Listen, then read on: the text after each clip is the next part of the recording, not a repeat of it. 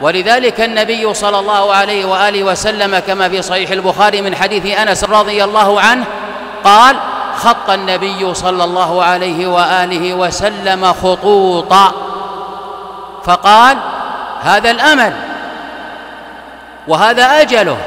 كالإنسان في وقته وفي أيامه حريص على أن يحقق الأمال وإذا بالأجل يدنو منه. إذ جاءه الخط الأقرب. ما هو الخط الأقرب للإنسان؟ هل هو هذا المربع الذي أحاط به من جميع الجهات أم أنه هذا الذي هو خارج عن هذا المربع؟ الخط الأقرب هو الموت. ولذلك النبي صلى الله عليه وآله وسلم كما ثبت في المسند من حديث أبي سعيد رضي الله عنه غرز عودا بين يديه يعني أمامه وغرز عودا بجانبه. وغرز عودا ثالثا فأبعده.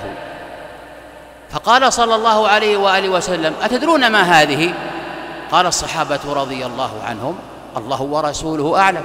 قال هذا هو الإنسان وهذا الذي بجانبه هو أجله هو أجله. والإنسان يتعاطى الأمل يريد أن يأخذ هذه الآمال. والأجل يختلجه دون ذلك يعني من أن الأجل يأخذه قبل أن يتحصل على أمله.